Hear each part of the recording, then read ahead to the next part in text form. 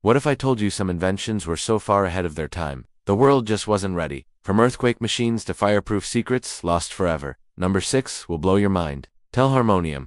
In 1897, a man built the Telharmonium, a 200-ton machine that could send live music over telephone lines, and vanished. Antikythera mechanism. Discovered in a Roman shipwreck, this 2,000-year-old device stunned scientists. The Antikythera mechanism could predict eclipses and planetary movements, with gears more precise than some modern clocks. Starlite. Starlite was a heat-resistant material invented by a British hairdresser. It could withstand blowtorches and even simulated nuclear blasts. But he never sold the formula, and when he died, so did the secret, Dynasphere in the 1930s. Engineers built the Dynasphere a one-wheeled car that looked like something out of a cartoon. It actually worked, but steering it was a nightmare, and it got scrapped as quickly as it appeared.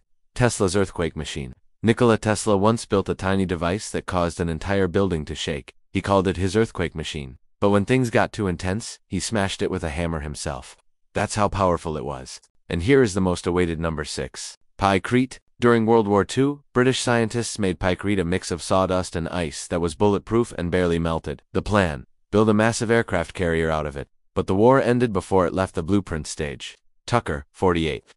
In 1948, the Tucker 48 was released a car with seatbelts, rear engine, and crash protection zones. Sounds like modern safety, right?